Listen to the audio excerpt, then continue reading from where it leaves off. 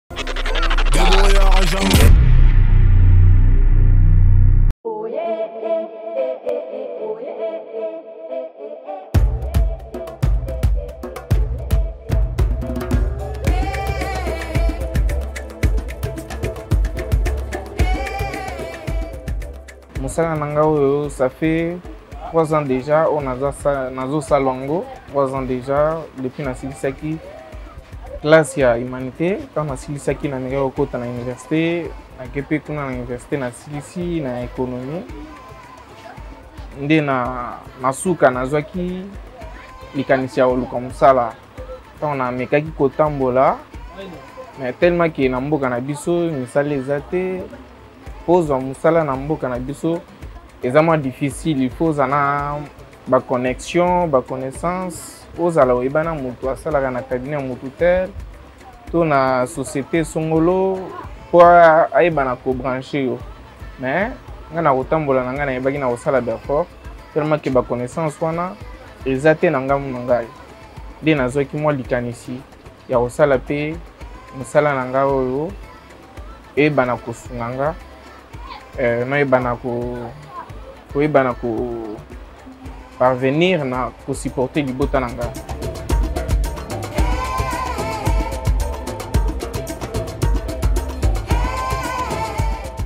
difficulté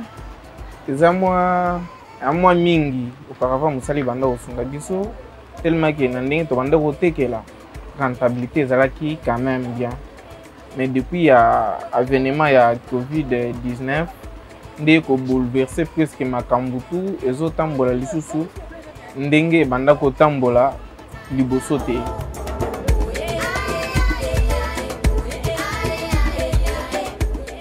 bon mpo na bajeune baoyo bafai na bandako basala eloko te nakosenga na bango babima babima pena baluka eloko ya kosala misala eza te bien sûr mais ata yo moko soki ocreye mosala na ndenge na yo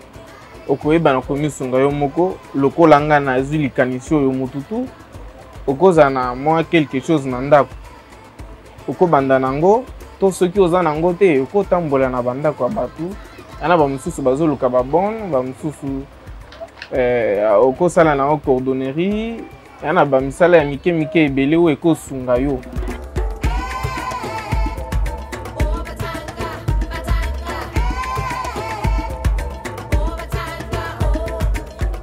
gouvernement na biso na osenga bango bayebana kosunga biso bapetit peuple basunga biso basunga biso vraiment toyebi ke chef de l'état euh, alance procédure oyo mosusu ya sika union sacrée tozo espérer que non eko aboutir na eloko moko ya bien mais basala na lombango mpo bayebana kosunga bacongolais